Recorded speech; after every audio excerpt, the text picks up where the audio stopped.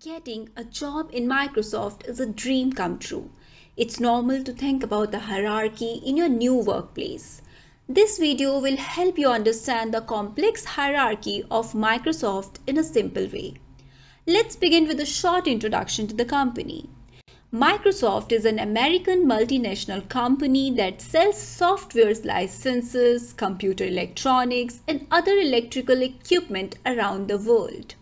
It can be considered as a major player in the operating system software market.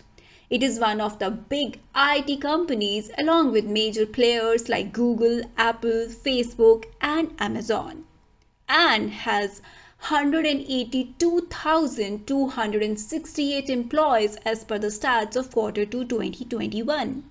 These features are good enough to convince anyone to join the company, right? So without further ado, let's move on to the technical hierarchy of Microsoft.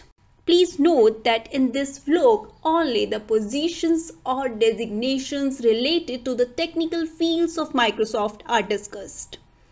As a lead technology company, Microsoft has a complex hierarchy structure. It follows the level system.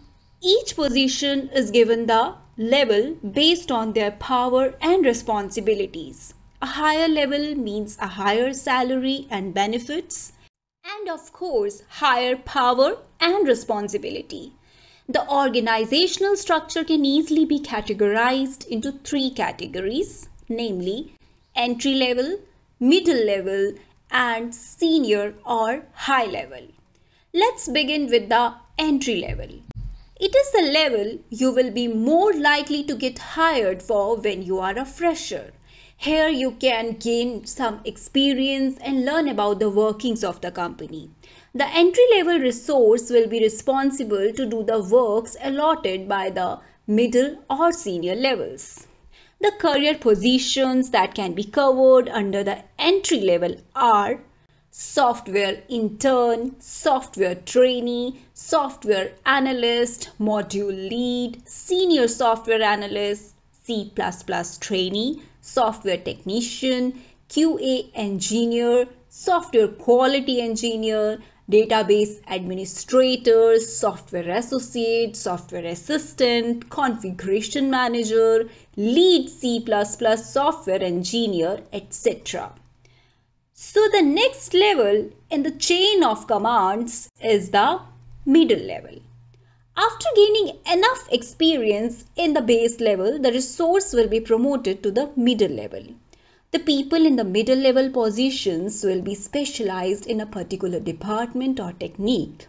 The middle level mostly focuses on the senior personals that are more responsible, experienced and updated. If you have the required skills and experience in other companies, then you can also be directly hired into a middle level position.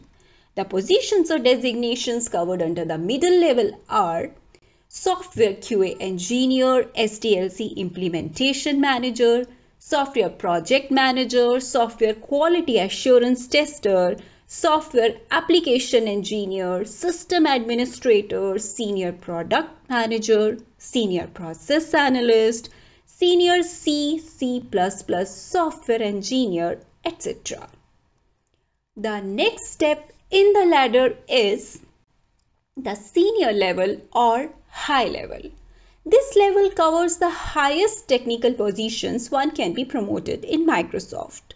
Though they are technical experts, they mostly work closely with the managerial and business authorities and act as a bridge between the business and technical team in the organization.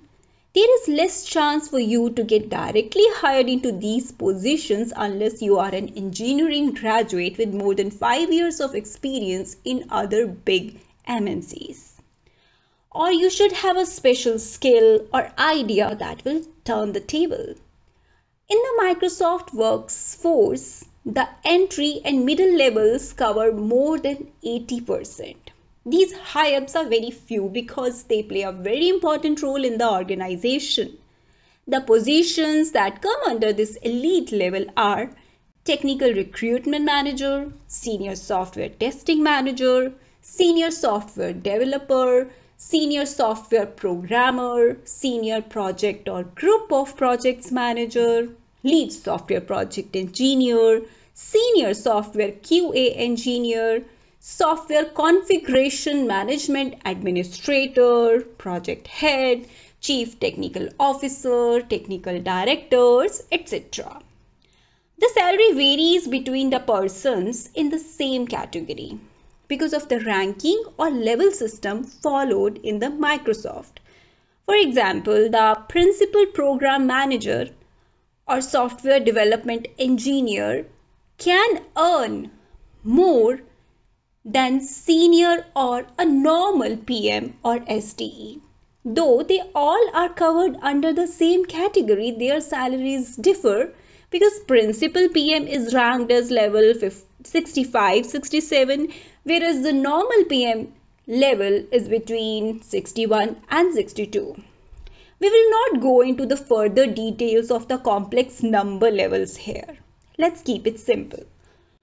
So that's all about the technical hierarchy in Microsoft that is broadly classified into three levels, entry, middle and senior or high level. If you are preparing for your next job interview or joining Microsoft in a short while, then all the best wishes. And please don't forget to like, share and subscribe. Thank you.